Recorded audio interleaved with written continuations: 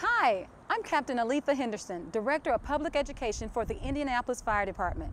I'm also the director of this amazing nationally recognized program called Firefighters Survive Alive. In fact, it's housed in this historic fire station, Old Fire Station 2, that was built back in 1872. When you come to FDIC, you don't want to miss this opportunity. Come see Firefighters Survive Alive, the ultimate public education experience.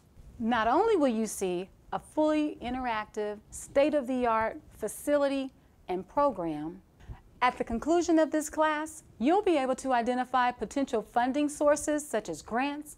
You'll also be able to identify those community partners that can help you in this mission. And my favorite part, you'll receive a resource guide that is filled with floor plans, lesson plans, and everything you need to create this wonderful, life-saving program in your community. Don't think you're just going to sit back. We want you to participate. This is an interactive class. If you have a passion for education, come to this class. If your fire department is considering accreditation or wants to lower their ISO, come to this class. We will have subject matter experts here to answer questions. Public education is so important.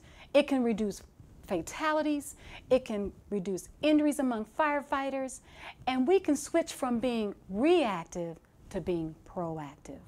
When you arrive by motor coach, you will not only be able to tour Firefighters Survive Alive and see all of our wonderful simulation equipment, but you'll also be able to tour our Firefighters Memorial and also our recently expanded Firefighters Museum. And let's not forget our local 416. There, you'll be able to even pick up some souvenirs. So thank you so much. We hope to see you in class.